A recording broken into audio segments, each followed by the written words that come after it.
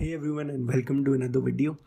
Today we'll be talking about Kaby Lake which is Intel 7 gen CPU lineup and is built on the same 14 nanometer architecture as Skylake. According to Intel, Kaby Lake is an optimized version of the existing Skylake architecture so you shouldn't expect any kind of significant gains. Kaby Lake also introduces new motherboard chipsets such as the Z270, H270 etc but we'll talk about that in a separate video. For now our main question is going to be that is Kaby Lake worth upgrading to?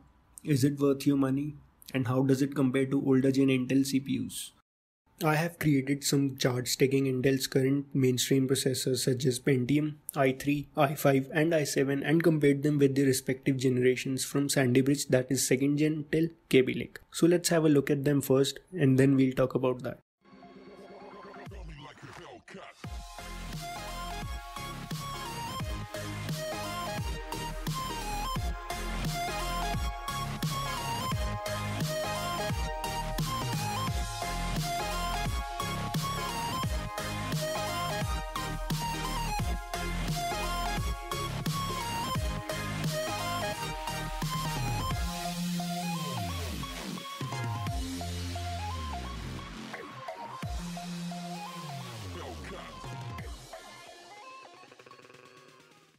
After looking at those charts, we can easily tell how far has Intel come since Sandy Bridge.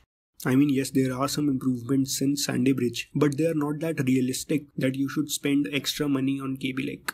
So, according to me, if you are planning to upgrade to Kaby Lake, I don't think it's the right time just yet. The only Kaby Lake CPU I can recommend upgrading to is the Pentium G4560. Well, if you own anything worse than that. Also, I would recommend waiting for AMD's Ryzen CPUs and see what they have to offer against Intel. Well, thank you so much for watching. I hope you liked the video. Please like if you liked it, share, comment and subscribe. Peace.